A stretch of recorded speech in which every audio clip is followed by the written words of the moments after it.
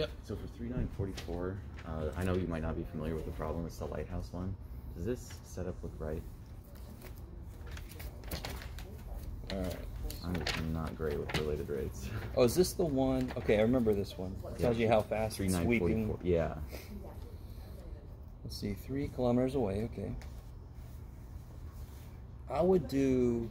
Okay, I would do from above. Oh, so flip flip it. From above, because it's really you want to be like above the lighthouse, so you can see the. okay. That would be the best way to to define, because then it's moving along the coastline. Yeah. You need to see that from above.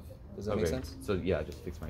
Yeah, triangle. yeah, yeah. And then when you label it, things will be clearer what they want from you. Yeah. Okay. Okay. Thank you. Sure. All right, guys. Anything else from homework before we get back into this here? Okay. All right. Uh, past Jeff, what did you do with your pen? Oh.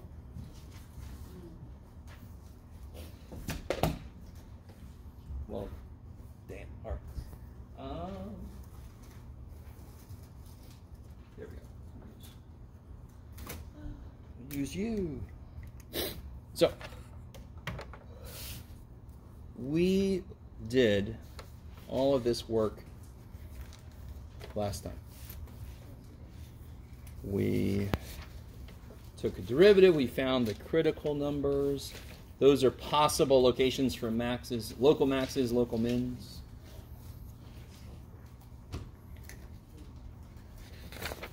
Yeah, that's right, we did. And then we did the sign diagram to identify local max, local min. Zero was a critical number, but it's just one of those resting places, right? We're just sort of rested for a second before continuing up. So it's not a max or a min. Then we did the second derivative. Got those critical numbers. And then we, uh, it- it's, it's almost the exact same work. It's just the interpretation of what we see is different. First derivative tells me is increasing or decreasing. That's why it leads to a max or a min. Second derivative tells me what?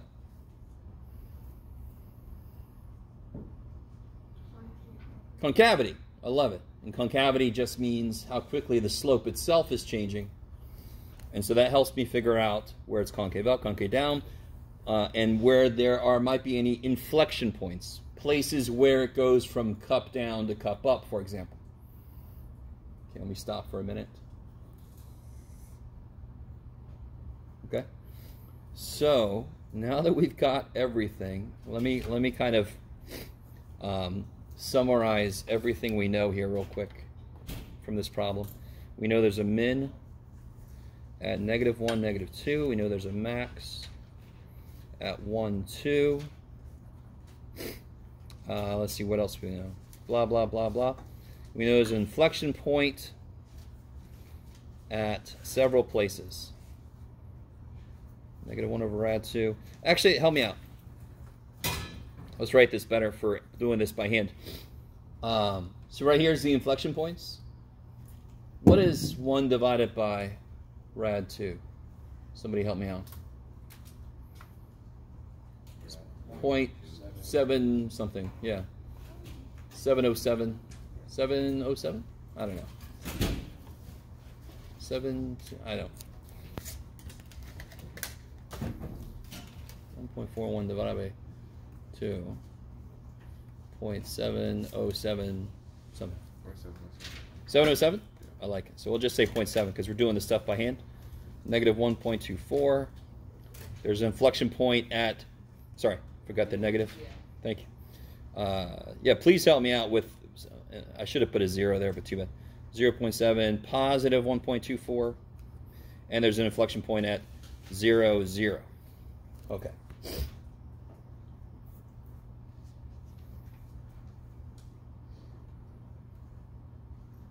And of course, these are the intercepts. All right, so what I'm going to do. Can somebody tell? Oh, we did talk about this already a little bit. We made the scale a little differently than you normally would. Yes? Some of you guys don't remember. All right. Be nice to yourself. You are picking the scale. I'm never going to give you the scale. You need to pick it, which means you could pick a very nice scale for yourself. If everything's happening like 0.7 and 0.9 and so forth, don't make your scale 246. I've seen that. Because then your picture comes out looking like this. Um, you know, everything's like jammed up in here. You can you can blow that up for yourself. You can see it better. All right. So we did a little bit better scale. You could have probably done even better than that, but we'll, this is fine. What kind of scale do I want to use on my y-axis? It looks like sort of the biggest output I need to worry about looks to be in the twos, right? You guys with me? So maybe I can do the same thing for my y-axis. 0.5, 1, 1.5, 2, 2.5. I think that's one of the most overlooked graphing decisions uh, as we teach it is the decision of what the scales are going to be.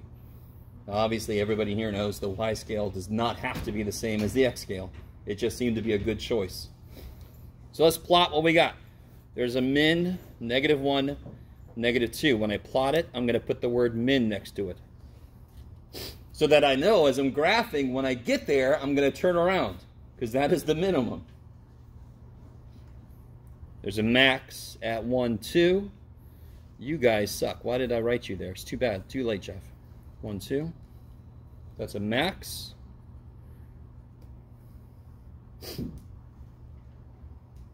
Okay. There's an inflection point. Well, let me let me do my intercepts. There's 0, 0, 1.29. Oops. So this would be 1.25 right in the middle. So 1.29 is about right there, maybe negative 1.29. So there's my intercepts.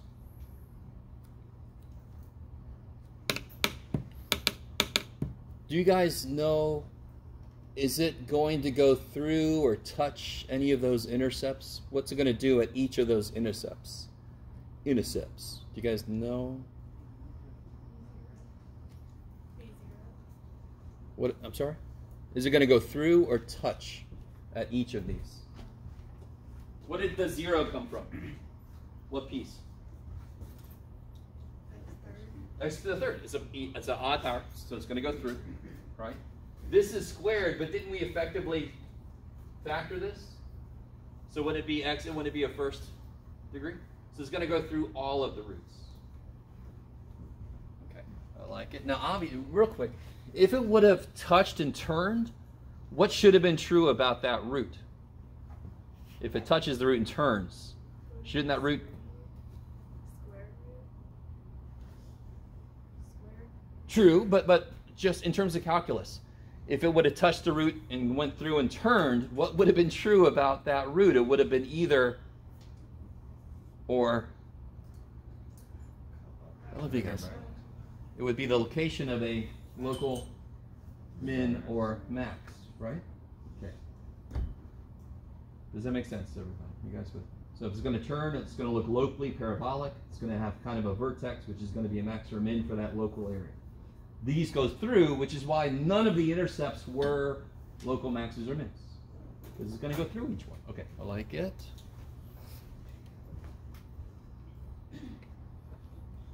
All right, what else we got? We got inflection points, negative 0.7 and negative 1.24. It's about right there.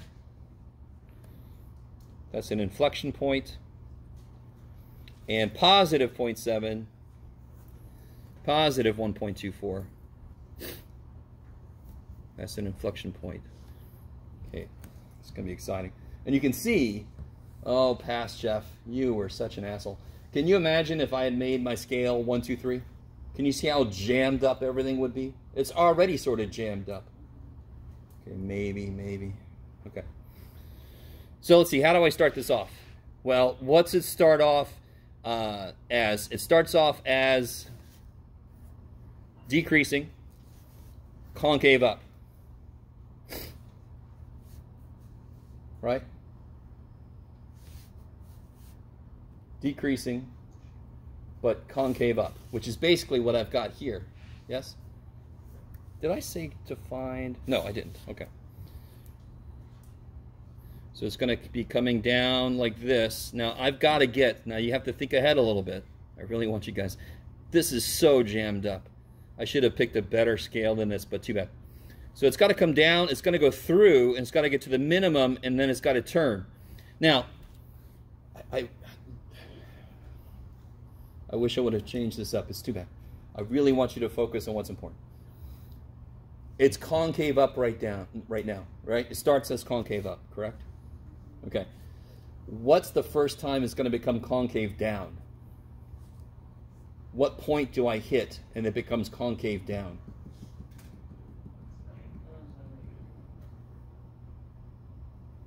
Which point? What do I have it labeled as? What what is the name of the point where the concavity changes? Inflection point. So it's not gonna it's right there, it's gonna change.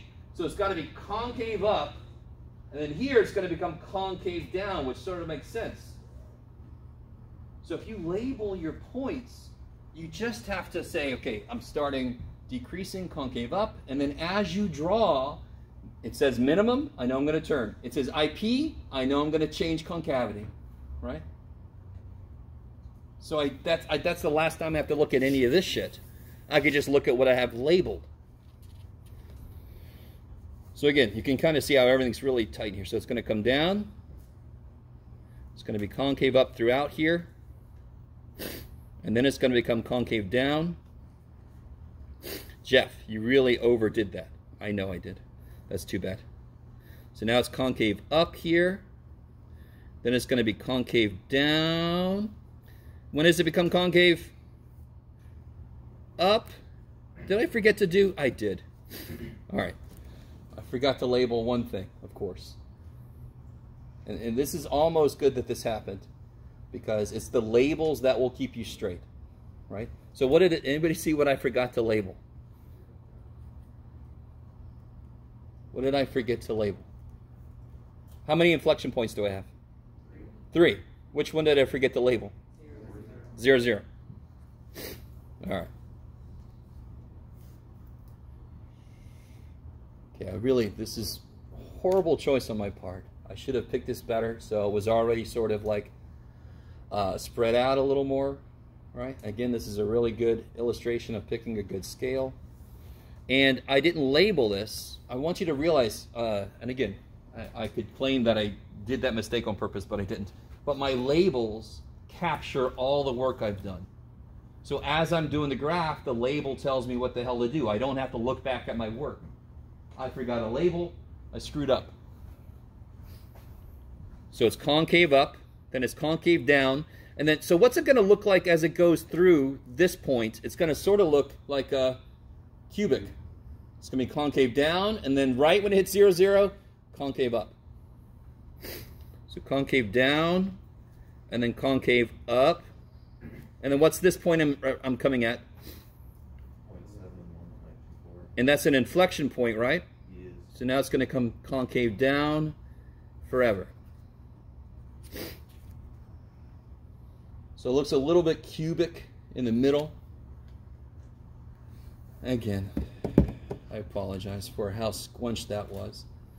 So what could we have done differently? We could have maybe made this go by 0.25, but then let's see, 0.25, 0.5, 1, 1.25, 1.5. We have to get out. Yeah, that would have worked. If we would have made this 0.25, it would have given me some more room to breathe, right? All right. So I'm going to pretend like I did all that on purpose just to show you if you pick a bad scale, if you pick a bad scale, it's way too squunched and then it's really hard to get your concavity to show up correctly because you're trying to turn really quickly. Okay, okay, let's start fresh.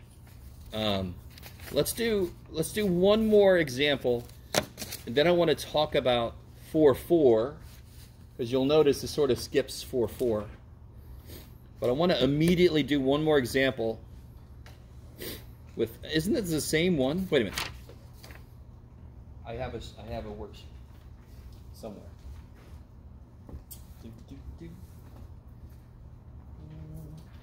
Oh, I really hope I put it in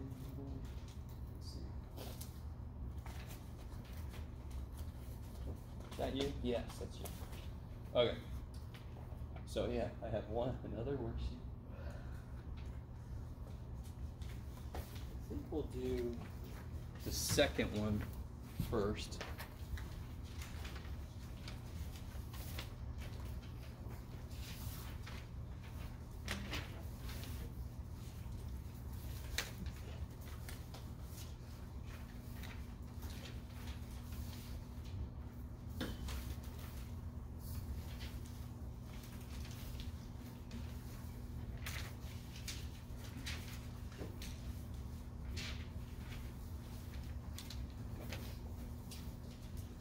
Yeah, let's do the second one first.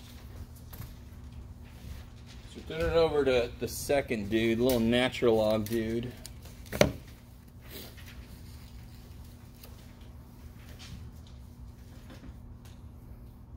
Okay. How are you going to find the domain of this?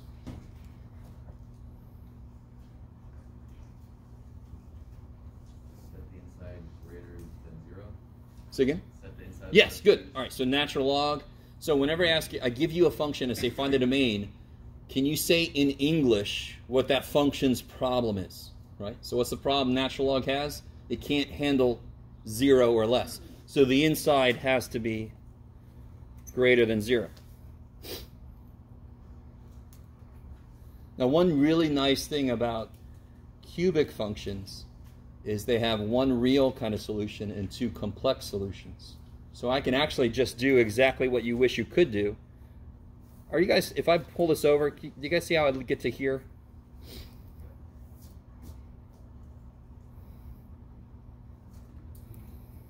So then I could do the cube root of both sides.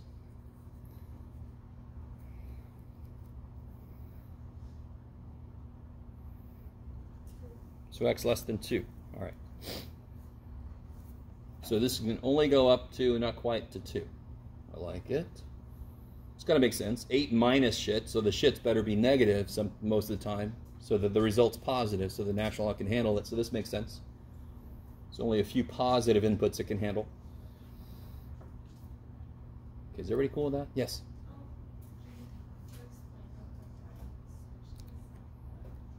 Oh, I'm sorry. So I just added the x cubed, right? So so let's see. And then flip the whole thing. Yeah, it's a nice way to do. Or you could subtract the 8, divide by negative, and the sign flips, right? Okay. Take a minute and do part B.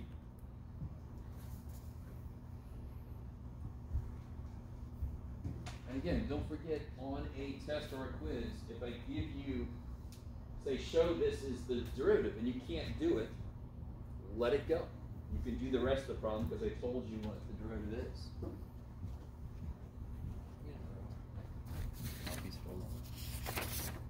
Sure.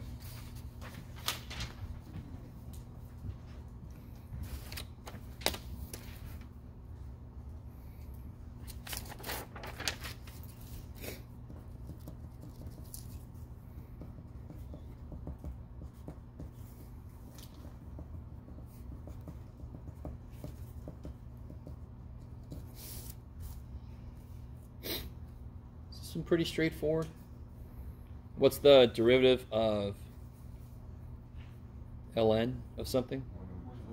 1 over that something times derivative of the inside, which is just negative 3x squared. Is everybody cool if I brought that negative down? That's how I change this around? Okay.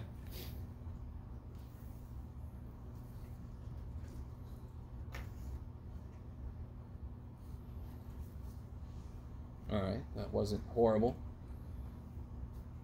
Hopefully. What are the critical numbers?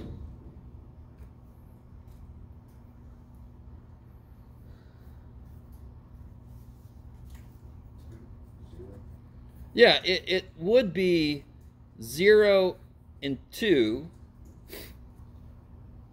right? 0 because that's what makes the derivative 0, 2 because that's what makes the derivative undefined. But what's true about 2?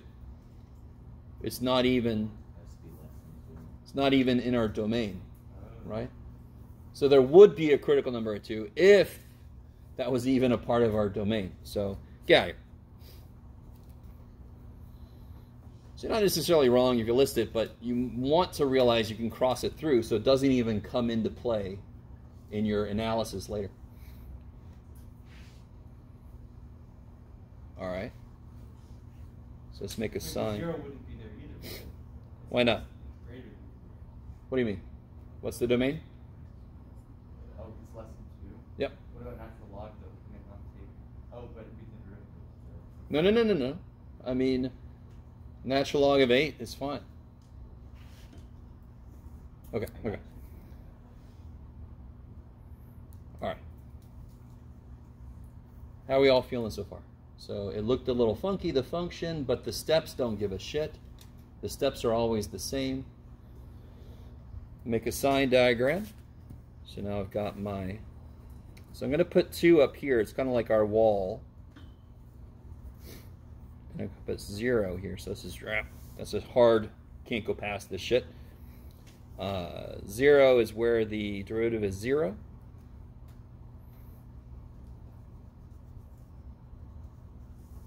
Let me see. Does anybody see how? Well, let's see what you guys think. Zero came from something that's a second power, right? So it's going to be the same sign on both, but even if you don't see that, if I plug a 1 in, I get 3 over negative, so that's negative. If I put a negative 1 in, I get 3 over negative, so that's negative.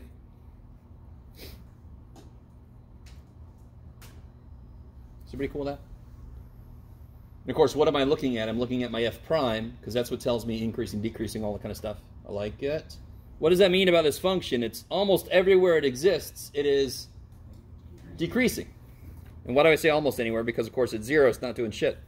So it's decreasing from negative infinity up to zero, zero to two, and it's not increasing anywhere.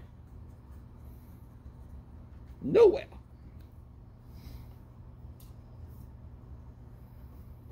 Does it have any local maxes or mins?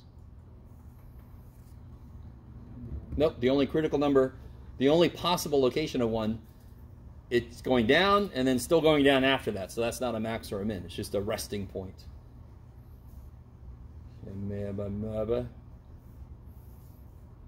All right. So the exciting one, of course, the part you've all been waiting for. Considering the first derivative looks like this, you should have known the second derivative is going to be a trip. So go ahead and take that trip. Show that this derivative is that. Let's all see if past Jeff knew what the hell he was doing.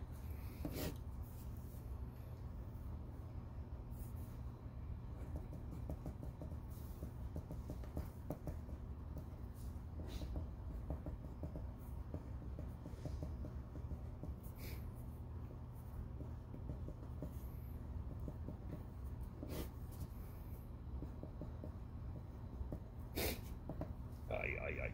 All right, let's see.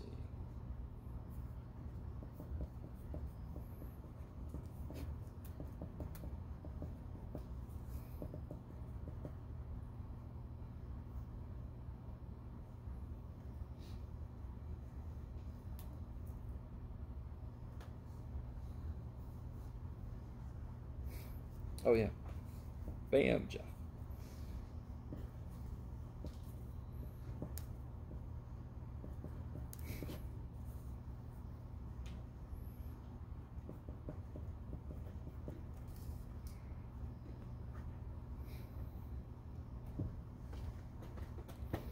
So it looks like all the weird stuff happens with the second derivative.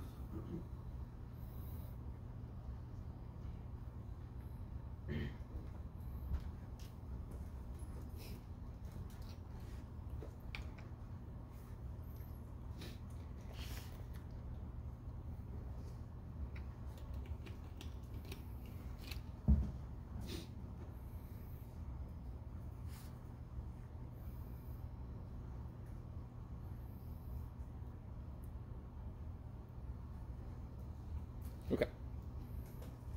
You guys get that okay? Yeah? So real quick. right? Bam. This will be 6x to the fourth minus 9x to the fourth. And then minus 48x. So you can take out a negative 3x. There's your x cubed, x cubed plus 16. Okay. All right, I like it. How many critical numbers will this thing have? How many?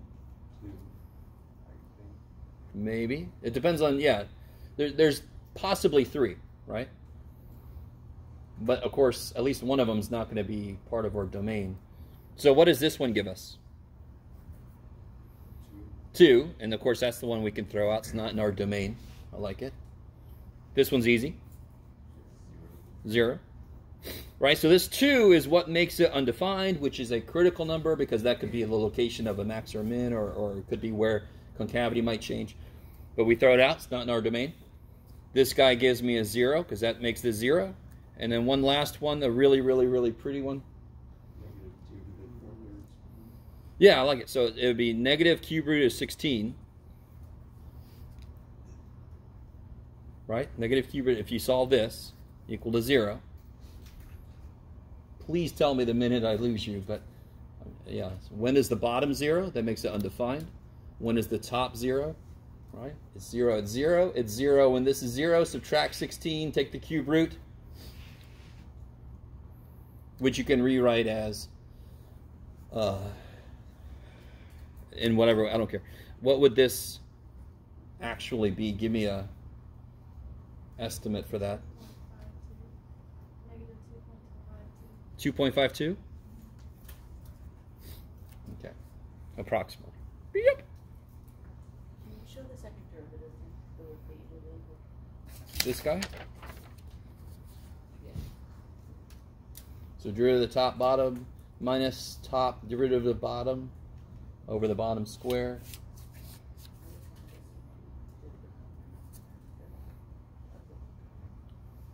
Bam, bam. Yep. Okay. You can sing whatever song you want to. Okay. Now, let's investigate with a sign diagram. Sign diagram. So I've got my hard wall at 2. Beep, beep, ba-da. 0. And negative 2.52.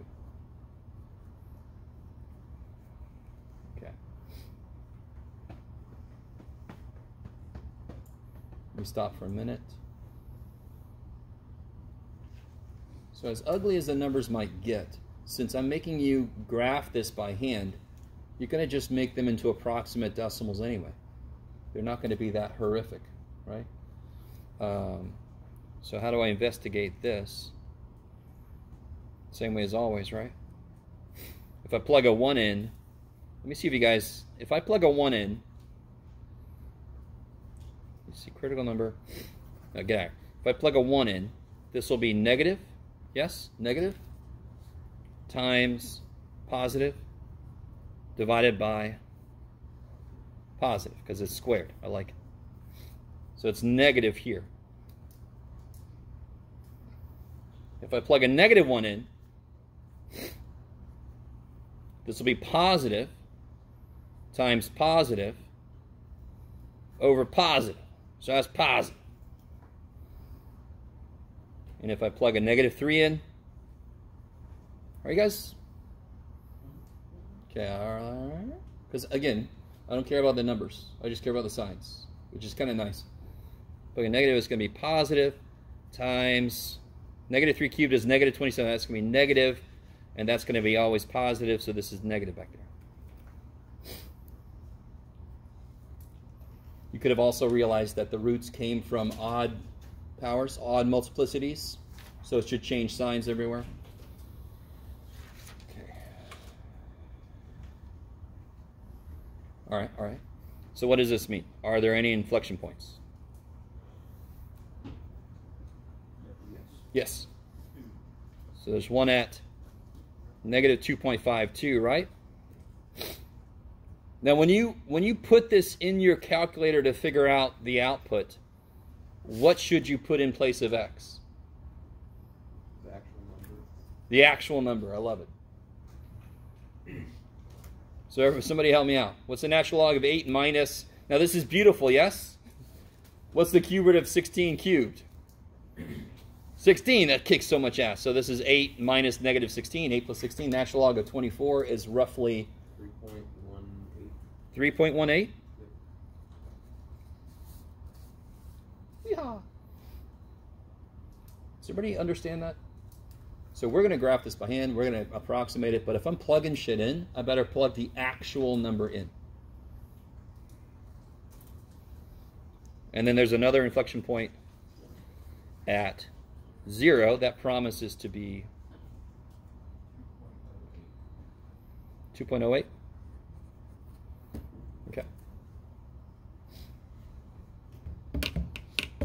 Makes sense. and then, of course, real quick, did I forget that? No, I didn't. Okay, good. Uh, I always forget the decreasing, increasing, but that's this time I started with concave up from negative 252 to 0 and concave down. Trust me, that's what it says. Negative infinity to negative 2.52, 0 to 2. Now, to be honest, what I just wrote is not really going to help us necessarily, but it's part of what I need you to be able to interpret from what you've done. All right. Now, now, just so you know, you guys all understand, this is not an easy function necessarily, right? But I desperately want you to realize it got ugly in a few places, but it didn't really matter. We could approximate them. Every step stays the same as always, right? And now the last thing is, can we find intercepts? How am I going to find the intercepts of this function? So here's my function again. What's the y-intercept?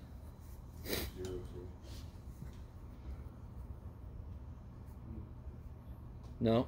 Zero. 2.08. Yeah. Oh. Yeah, that's right. Right. Natural log of 8, which is 2.08. With? So if I put a 0 in for x, natural log of 8 is 2.08. We already knew that, right? So that's my y-intercept. My y-intercept happens to be one of my inflection points. What's my, how do I find my x-intercept?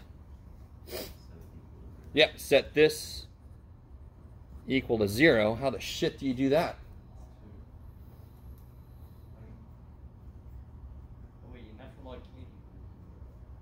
There you go. Can the natural log equal zero? No. So are there any x-intercepts? No. Okay. It. Now be careful. Can the natural log be zero? Let me make sure you guys are with me. You just took me down the wrong path and I totally went there with you. What's the natural log look like? So what are you thinking about that it can't be zero? What can't be zero? The output can't be zero. Yeah. Okay. So this one's trying to say the output zero. So now I'm back with it. Okay, so this one's got nothing. Um, so no x-intercepts. Bam. So now, if I, you guys are going to help me label everything because if I if I don't label something, I'm going to get the wrong answer, right? Because the labels actually hold all the information for me. So let's plot some stuff. Uh, what kind of scale? The very first thing I've got to worry about is my scale, and it looks like my outputs are all kind of like two, three. My inputs are negative two stuff, right? Let's look up here. Yeah, there's nothing really up here for me. There's no maxes or mins. So I could probably go by ones, it looks like. Yes? Yes? Okay. So let's go by ones. This kind of sucks. I mean, you should bring your own uh, graph paper because I could have put this axis over here, but too bad for all of us. Um, so I've got So everything's happening below 2. It looks like I could do my scale on the y-axis by ones.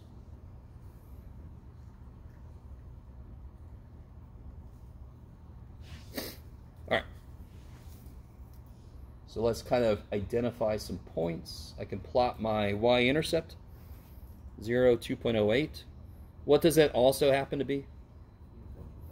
Yeah, it's my inflection points. Let me put a little IP next to it. Yep. So that's my only intercept. Let's graph the other inflection point, negative 252, 3.18. There's an inflection point there.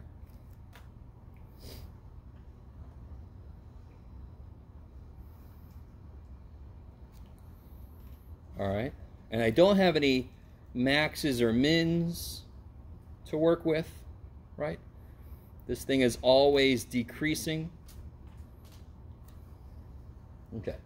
So, one thing I could do that I didn't do before, I don't think I'm going to do this anyway. I could put like a negative 4 in to see where it is. But let's not do that. So what gets me started is I know I begin, I'm always decreasing. So that's just a known. But I start concave, what? Down. Down. So I'm going to be coming into this sucker like this. Decreasing concave down. And then what's going to happen right when I hit this point? Concave up. I'm going to go through this point, And then it's an inflection point again. So then I'm concave down. Uh, let me see. Where can I put an open circle? Here's one thing we need to figure out. 2 is not in the domain, but what happens when I approach 2? What does happen when I approach 2? Yeah, because the inside goes to 0, so the whole thing should go to negative infinity. So there's a asymptote here. So that's one thing that section 4.5 is going to add. It's going to bring back vertical and horizontal asymptotes, maybe some slant asymptotes, yay. I'm confused because I thought there would have been X intercepts, but there are, there's a vertical asymptote. Yeah, let me think. Hold on, hold on. That's what I was worrying. Ba, ba, ba,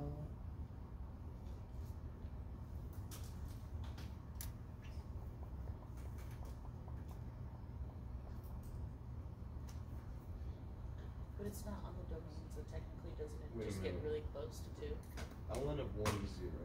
Yeah, ln of 1 is 0. That's what I was, yeah. All right, I'm, I'm being unbelievably dumb today. So this is what I was trying to point out. So ln, you can't have an input of 0, but you can have an output of 0. So how do I solve this?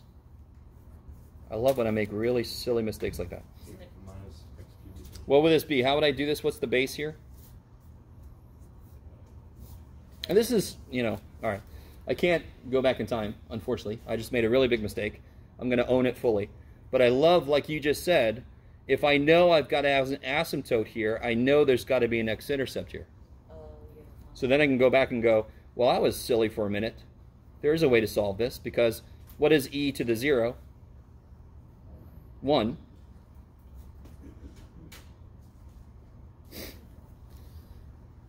And then I can solve that, right? So x cubed equals 7. Is? And so what's the cube root of 7 roughly? 1.91. Nine one. And that makes a lot of sense. Because then I can be right up close to that and just get closer and closer. Okay.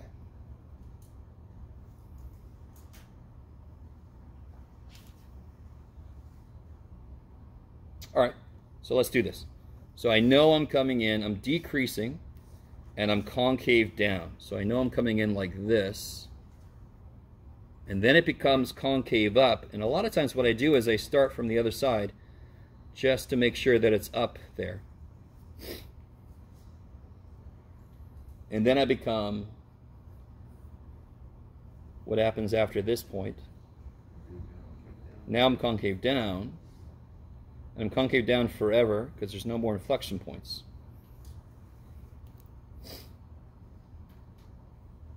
Funky.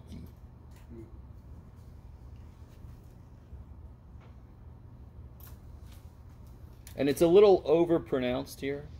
And like I said, you want to really be really clear with your picture about the concavity, which is why you want to give yourself some more room to show that. Yeah. If we didn't graph the x equals one point nine one, getting stop that problem. Well, you like we like just happened. We know since it's decreasing and there's an asymptote, I have to go through the x-axis. Right. Then you go back and you say, my assumption there was no x-intercepts must have been incorrect. Let me look at this again. So it's sort of like a self-check. And there's a lot of that kind of thing with these. As you're doing something, it might not make sense, and then you go, where'd that come from? Let me look at what I did, right? That's going to happen a lot where you have a self-check. And of course, if you don't pick up on it, you will retain more points the more your graph looks like the work you did. Right? If your graph looks beautiful and your work is wrong, that's a major issue. You're going to lose more points. Now, of course, how do you check this? You just graph the damn thing in your calculator, right? You can always do that, but I highly recommend you do that after you've actually got a graph down. Because otherwise, it's going to creep in your head and you're going to do weird shit that I'm like, how did you know that? Wait a minute. Okay, maybe, maybe. Okay. So before we do this side, let's introduce something that some of you guys either. So I noticed a method creeping into people's homework that we officially don't know yet, which is one of the, the worst things about any math course, to be honest. Uh, when you get higher up in math, there's a math course I took where you could not assume that 2 was a rational number or square root of 2 was irrational something or you had to prove you couldn't assume 1 plus 1 is 2 you had to pretend like you didn't know that and actually actually prove it How do you prove that? oh well take real analysis and then all right um, so in calculus even if you know stuff like if I let me just say this does anyone know L'Hopital's rule Are we, I was gonna ask about that, are we doing that? We're doing it right now. It's in section 4-4. Oh, so if you've okay. tried to use L'Hopital's rule before 4-4, I have crossed through that shit because we don't officially know it yet. Now, sometimes it's not your fault. You go to a tutor, and I can't really blame them either because L'Hopital's rule kicks a lot of ass. You're going to see in a minute. How do you guys feel about finding limits? Can't they sometimes be horrific? Okay. L'Hopital's rule makes it so much easier. So if I was a tutor and I know this rule, and you come to me with a limit question from chapter 2, I might try to show you this rule because it's easy. But they should really know better than that because you don't officially know that yet. Okay, okay. The idea, okay, so the idea behind this rule. So by the way, there is disagreement on how to spell this poor person's name. Oh, yeah, I have heard that. Everyone pronounces it different. I know. The hospital, all that kind of stuff, right? Yeah. You said it very frank, so I didn't really know. Yeah. Oh, yeah, I know. Sorry. As you should though. like for sandwich. Hospital. Hospital's rule. Um, you'll see sometimes they'll take the S out, and those people are wrong. Let's get this man's name right. Um, It's- said four, four? sorry. This is four, four? This is four four. Yeah. So four three and four five are almost the same thing. Four five just brings in more pre-calculus. It brings in vertical horizontal asymptotes, maybe some slant asymptotes, other things like that. Okay. Four four is sitting right in the middle because this rule is actually used to talk about a few things in four five officially. Um, but you guys, all right the tell me this if i have a function that is differentiable so let's see, if i have f of x and it's differentiable everywhere on its domain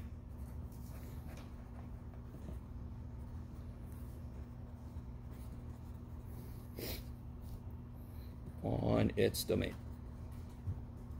okay what does that mean if i take any point on the function and i zoom in a lot what will I see? Straight line. It's going to become straight. Some of them, especially if they're like crazy curvy, I might have to zoom in more and more and more and more and more until it finally, but it's going to be locally linear. This idea of, to be really honest, I'm not even sure if I've said it like this, but local linearity. You zoom in on this bad boy, it's going to look like a straight line. Where does that not happen is if it's not differentiable, like at a kink. If I zoom in on that, it's always going to look like the top of a triangle. It's just never going to be a straight line. Okay, maybe, maybe, maybe. Now, let's say I'm trying to do the limit as x goes to some number of the ratio of two functions. Okay. So this idea is going to come into play very soon. There's kind of like three levels of proof to this. I'm going to start with the lowest level just to get the idea out there. Then we're going to look at the second level, and then I'll figure out if I want to try to do the ultimate level with you guys. We'll see. So visually, I've got some. Hey, and oh, one more thing I want to say. Let's say that this is indeterminate in this way. It's of this form, right?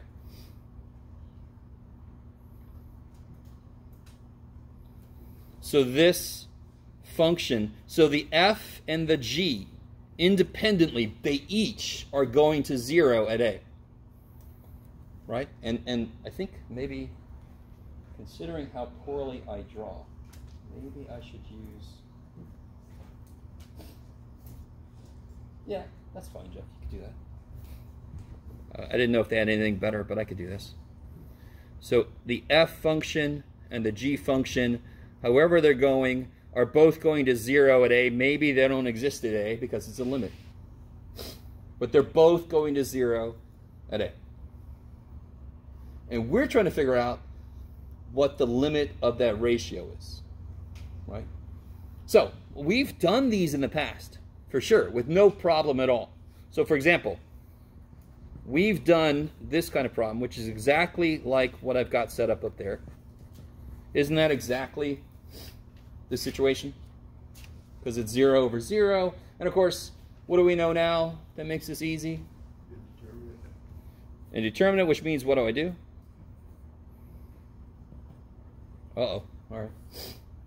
What do I what do I do? What do I do? Factor, yes. I factor in the hopes that the problem, the thing that is making it 0 over 0, I'm hoping that it will cancel and then I'm able to plug stuff in. Okay. That's easy, right? Why do I need some rule? This is easy shit. Because what about, for example, this?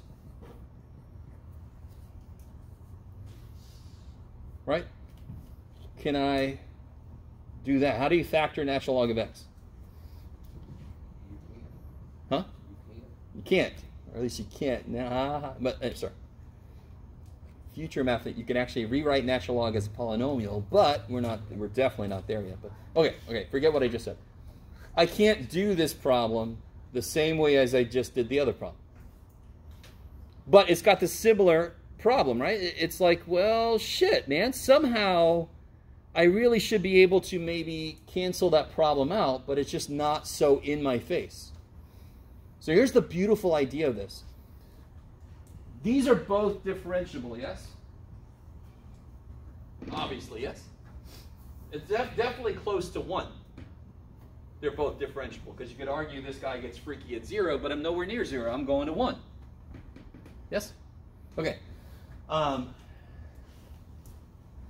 so, close to 1, aren't each of these things linear? The closer I get to 1, what happens to the linear approximation? Does it get better or worse? If I do a linear approximation for each of those, and I get closer, I build it around 1. As you get closer to 1, what happens to the linear approximation? It gets better and better and better, right? And the limit that it goes to 1 is going to be perfect, yes? So can't I basically replace each of those with their linear approximations.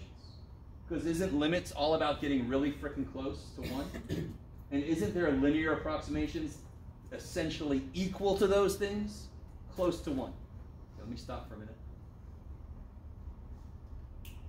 Okay, so. Yeah, I've just decided we're going to do this all the way out. Okay. How do I get the linear approximation? Oh yeah, this will be a nice little review. All right. I wasn't going to do this, and I just suddenly decided to do this. You really want to? Yes, let's do it. It's a good review. How do I get this guy's linear approximation? Find the slope. Right, that's something. Yeah, so I need, so the linear approximation is going to be f of a plus f prime of a times x minus a, right?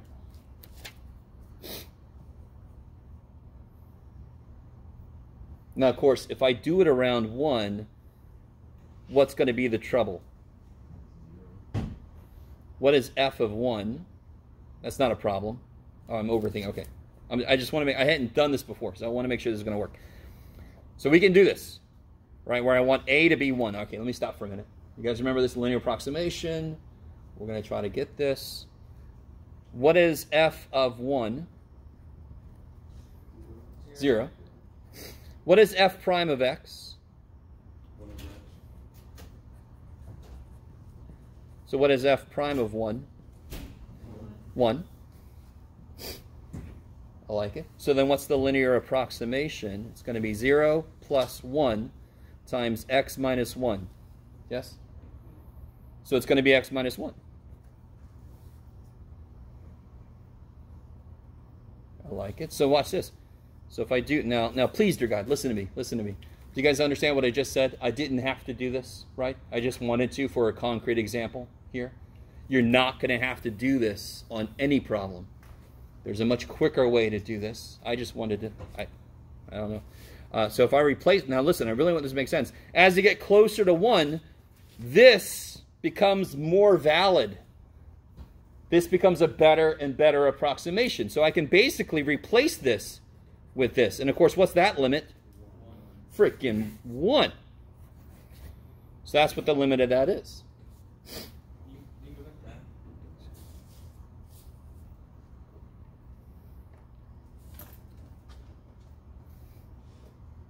So a is 1, f of a is 0, f prime of 1 is 1. You plug this stuff in.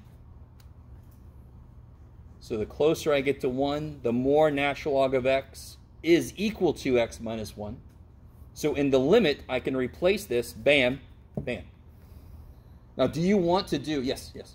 But we established that f of one is indeterminate. No, no, no, no, no, no, no. Careful. That's the thing I was tripping up on just a minute ago. It said the form, isn't this in the form uh, 0 over 0? Yeah. Okay. What's f in this in this? What is f? ln of x. No, no, no, no, no. Nope. What's f? Okay. Yeah. So f of a in this case is 0. And it's because the bottom is also 0 that the whole thing is indeterminate. But each function I can work with separately. Okay, I like it, I like it, I like it. That's actually a huge point to make about the rule that we're going to see in a minute. So what's kind of like, okay, we're not going to do this. Because you can imagine, what if the top was gross and the bottom was gross? Do you want to do a linear approximation for each? Because they could be excessively gross. No, I don't want to have to do a linear approximation for the top and the bottom for every damn problem. Dear God, Jeff. Okay, so here's the better way to look at this.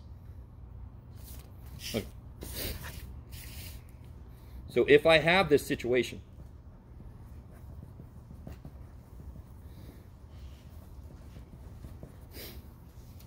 and f and g are differentiable close to a. And we all know close to a means something like um, a minus delta, a plus delta. Yes, maybe? Ooh, just to bring delta back. We all love that.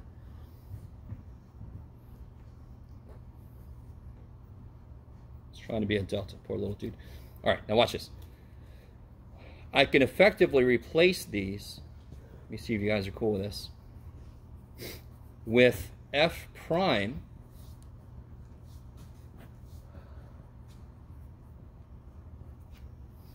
Basically, that's what we just did.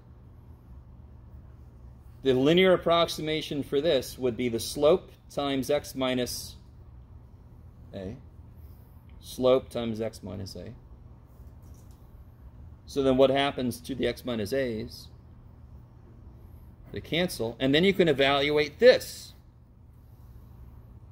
So what we just saw, and I've sort of built up to this point, limits de are determined by which one is going to something faster. Limits are determined by the rate of change of each function in it.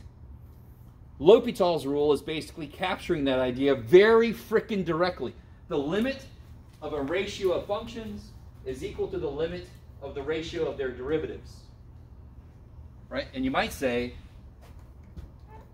okay, so, so let's try, okay, let's try some examples. Let's do that last one we just did. Here's an example. So here's the key thing to realize. When does L'Hopital's rule work? If the function ratios I'm looking at are in an indeterminate form. That is when it works. The minute they are not indeterminate, L'Hopital's rule might not work anymore. So what is that? Okay. So somebody help me out. How would I do this? So here's the thing I was trying to say earlier why it's kind of nice that it came up that we could look at each function separately because you have to. What I get is I get some poor student who does the quotient rule on this thing. Holy shit. Right? They take this whole thing and they do quotient rule. That is not what we're doing here. That's not one function, is it? There's a top function and there's a bottom function. And I want to do each derivative separately. So what's the derivative of the top? 1 over x. What's the derivative of the bottom? 1. So what is this? 1. Isn't that what we got earlier? Didn't we do that a lot quicker now? So this gets to the point. I don't need the complete linear approximation. I just need their slopes. If I do the complete linear approximation, it's going to work. But good God, there's so much more work. This is kick ass. Look at that shit. I really, and by the way, let me be really careful. I should have done this from the very beginning. Anytime I would do L'Hopital's rule, I put a little LH for myself. Because otherwise, you might look back at this and say, and your brain might say, oh, ln is equal to 1 over. No, I, I applied L'Hopital's rule, bam. Could I apply L'Hopital's rule again to this? No. Why not? It's totally not indeterminate, right? So L'Hopital's rule says if you try to use me and it's not indeterminate, I don't know what the shit's going to happen. I can't guarantee anything. Can you sometimes get the right answer? You Totally. really? To- yeah, entirely. Totally, totally. But L'Hopital says maybe you'll get the right answer. I don't know. Because it's absolved of all, all, uh, yeah, exactly. Because it only definitely works if it starts off indeterminate. So do you think you're going to have to do possibly multiple derivatives sometimes? Of course, right? So for example,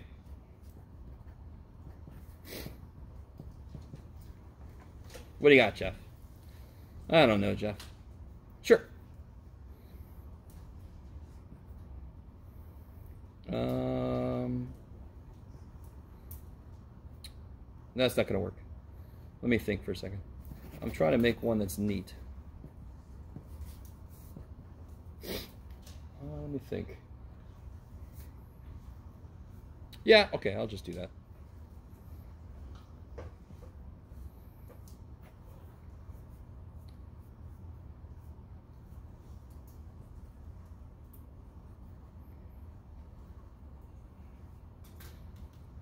Sure, like. Okay.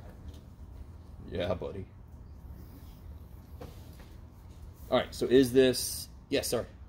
I'm a little confused because I thought that taking the limit of something would give you a derivative. I thought. Okay, okay, listen, listen. Right, I love it. I love that question. Um, limits exist by themselves. They, they, they are just an idea. I can use them in a lot of different ways. Are they used in determining derivatives? Yes. If I have f of x plus h minus f of x over h with the limit as h goes to zero. In that very specific instance, they lead to derivatives, right? We have a limit that has nothing to do with derivatives, right? This, this question, there's nothing at all explicitly about derivatives. This is not h goes to zero. This is not f of x minus f, you know, f of x plus blah, blah, blah. Do you so I love that question because um, it is kind of, it kind of sucks in calculus that we so immediately after discussing limits, we jump right into using them to find derivatives. So students sometimes think limits go with derivatives. No. Limits are their own things. One very specific use is to find derivatives. I like it. Thank you. Okay. So what form is this in? Zero over zero. Zero over zero. And I didn't make this good enough, did I? No.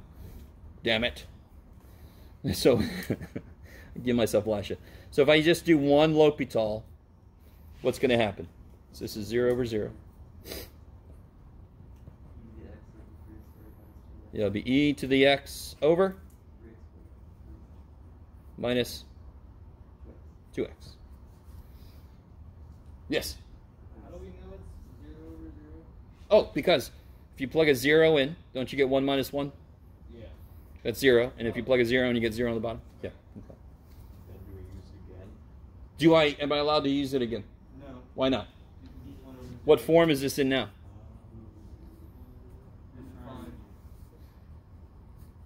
1 over 0. I love you guys. Yeah. Now, what's funky about this?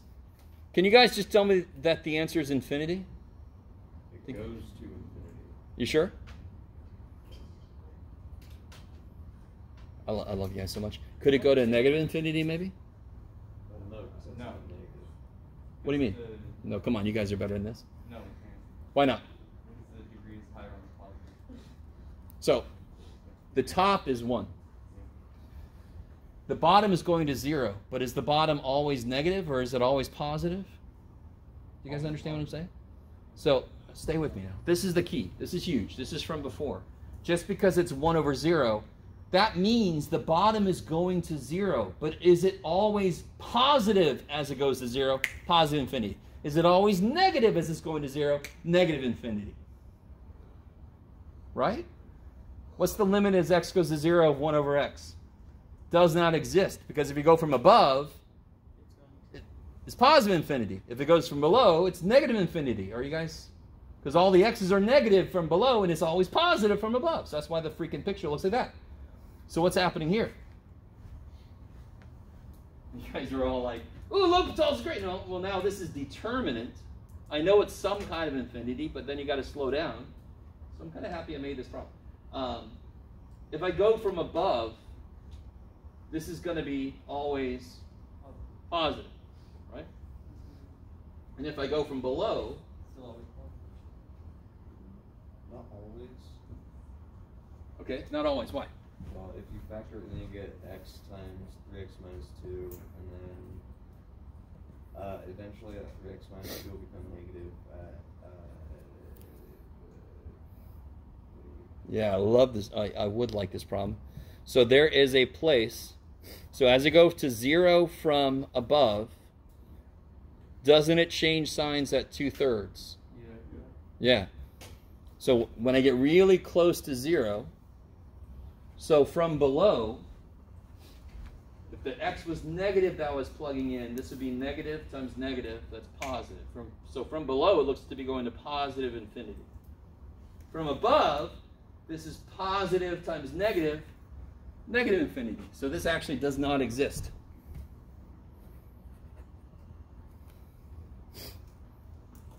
That's Crazy shit. Yes, because it's doing one of these things.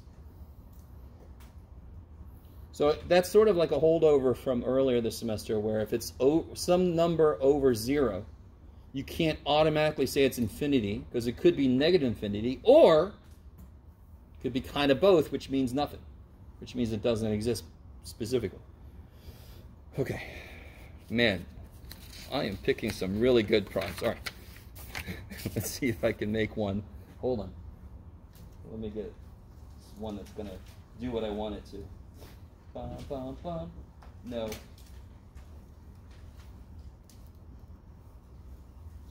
Ah, beautiful. Let's do this.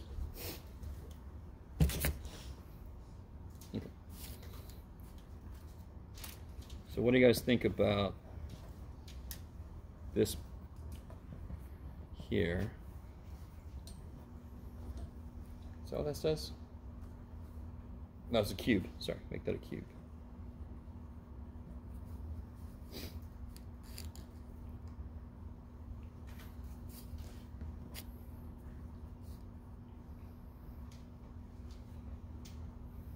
What form is that in?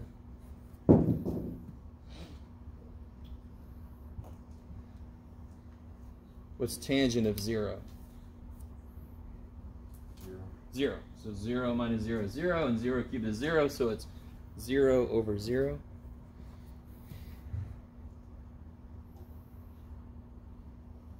So what can I do?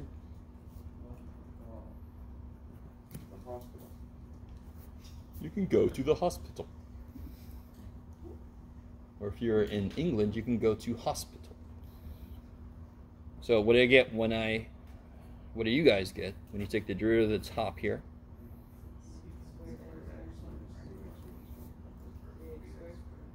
Kick ass.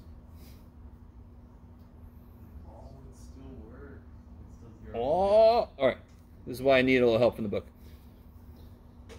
Because what form is this in? What's secant of zero? One.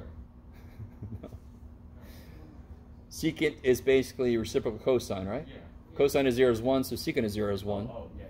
One minus one is zero, and the bottom is still zero. Now, real quick. All right. Um, see if the book even does this. No, the book just does that shit. Um, does anyone know what secant squared x minus one is?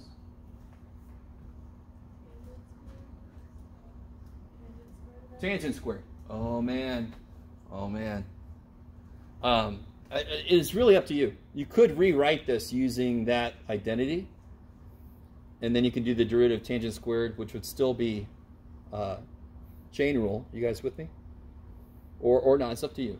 So let's pretend like we didn't see that. But just to let you know, if you have trig functions in this, and you take derivatives, very often an identity might help you simplify it.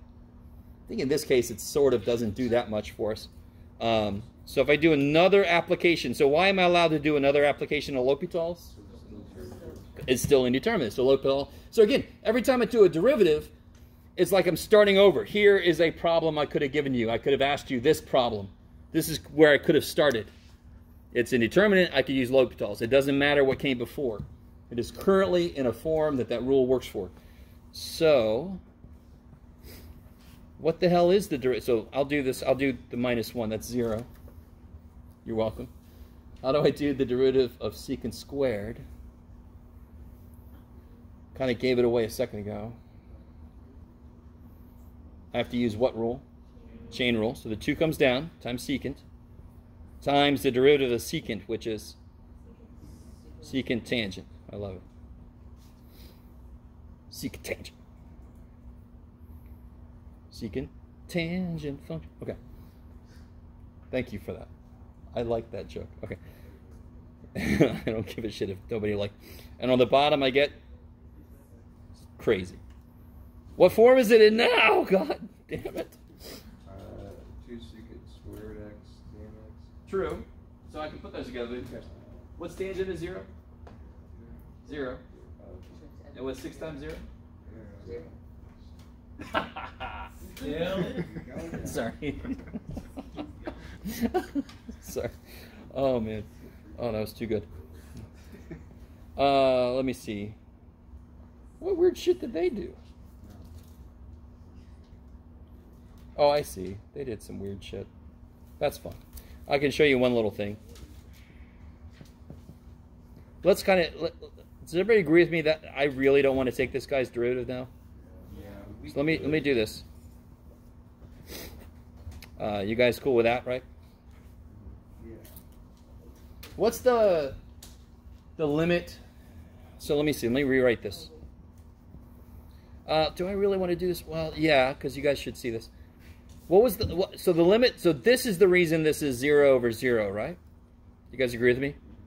This stupid thing here. What's the limit as x goes to zero of this piece?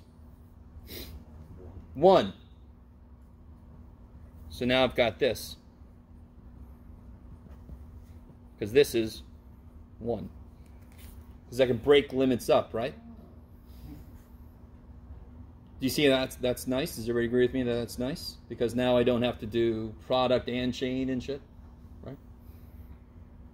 So now I can do L'Hopital's again, because this is still zero over zero, yes?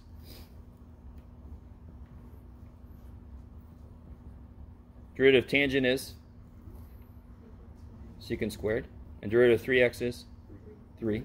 All right. right? The minute you see a constant somewhere, you're like, okay.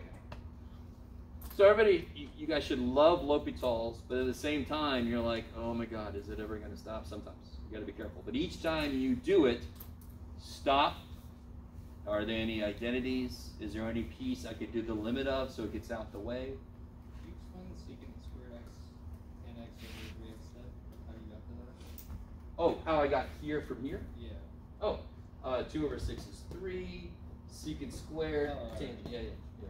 So just simplified stuff and The put stuff. the one, how did you get the? Yeah, if x goes to 0, secant goes to 1.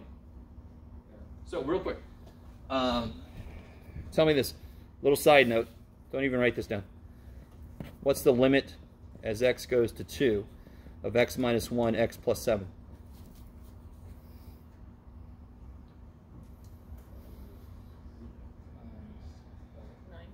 Yes, what did you do? Didn't you do the limit as x goes to 2 of x minus 1 times the limit as x goes to 2 of x plus 7? Yeah. Isn't that what you did? That's what I did here. Okay. And why did I do that? Because I don't want to do this derivative. And I don't have to because this guy's limit is 1. Yeah, like it. Say again, sorry? It would go outside. I could put it outside, but yeah. It actually would probably be a little bit better to do that.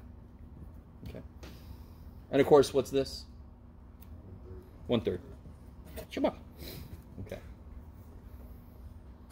Yeah? Where'd the three come from? Are you cool with the two and the six? Yeah, so it just reduced. Yeah, I like it. Okay, okay. I like it. So if you, so for example, um, how would you have had to have done, let's do one that's here. Yeah. How would you have had to do this back in the day that you don't have to anymore? Stop crinkling up. Yeah, there. Ah, all right. Uh,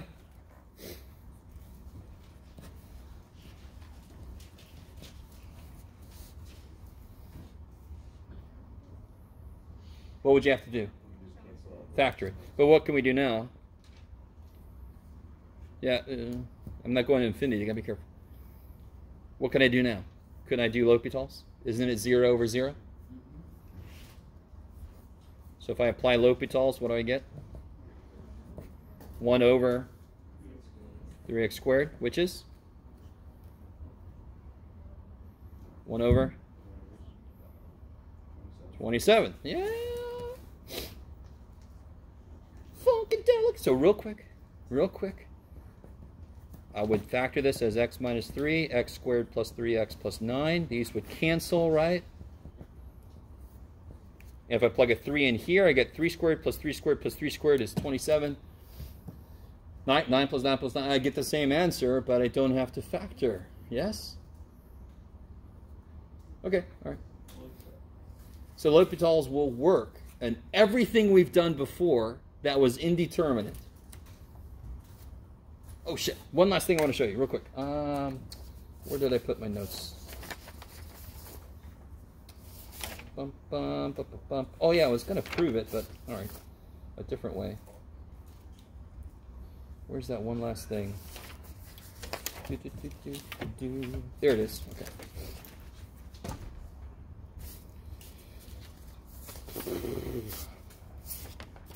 Oh, okay. What about this?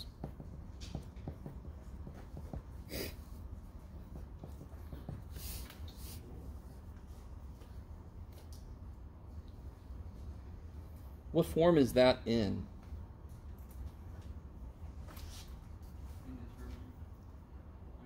Do we know it's indeterminate yet? What, what's all right. L'Hopital's rule only works if I have something written in the form of a ratio, right? That's what it's built on. Is this a ratio? No. But is this determinate? No. This is in the form 0 times infinity. And it really depends on which thing is going to 0 or infinity faster. If the thing going to 0 is going to 0 faster, the limit might be 0. If the thing going to infinity is going to infinity faster, it might be infinity. Okay, meba, meba. And real quick, if you don't, anybody who thinks this should always be 0, uh, look at this. Look at this uh, sequence. Uh, what do you want to do, Jeff? Yeah, sure.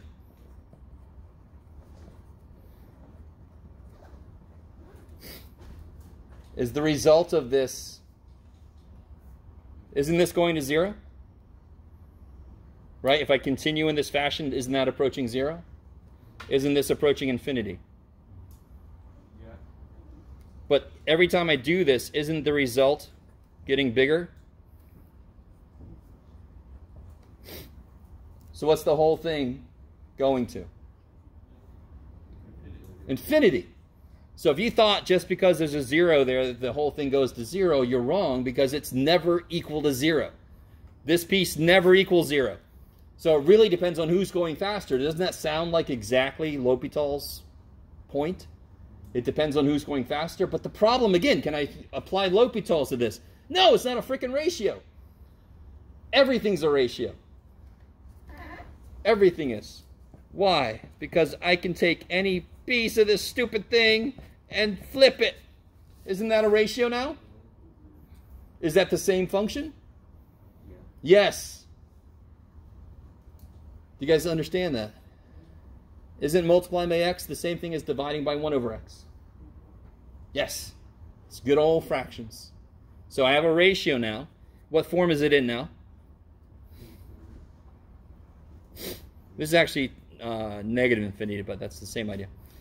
So now it's in the form negative infinity over infinity. Is that cool? And I really didn't address this, but the, based on what we just did, L'Hopital's, I built it around 0 over 0, right? In fact, let me say this real quick. God, so many little things. If this was infinity over infinity, and I built L'Hopital's around 0 over 0, what is this? Isn't this the same? But now what is it going to? Zero. If this was going infinity, this is now going 0 over 0, and then L'Hopital's works. Oh, so it will work even if the indeterminate form is infinity over infinity. And now it'll work for 0 times some kind of infinity because I can rewrite that as a ratio. And then L'Hopital's can attack it. So what happens when I attack this with L'Hopital's? I still want to identify this L'Hopital's. 1 over 1 over x x. over negative 1 over x. Kick ass, right? But now what's plugging 0 into that? Now watch. What before you apply a limit, what do you try to do to the thing you're looking at? Don't you try to simplify it? Can't I multiply by x squared? Or even if you, what's divided by negative 1 over x squared? Isn't that times negative x squared, the reciprocal, right? So what do I get? I get limit as x goes to 0 of negative x, which is 0.